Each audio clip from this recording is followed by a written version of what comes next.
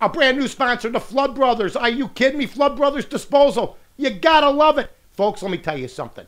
The Chicago Bears play Seattle. The Bears are thrilled. Well, how do you think Seattle is? If you told Seattle they had to play Green Bay or Atlanta, they'd be going, oh my God, no. But instead, you're going to play the Bears. They're going, really? We beat them 23 to 20. And I'm trying to figure out if the Seattle Seahawks beat the Bears, okay? If the Seattle Seahawks came here and beat us, why are we excited to play them? Matt Hasselbeck is a savvy veteran. Now, am I worried? Hell yeah. Did you see New Orleans play this weekend?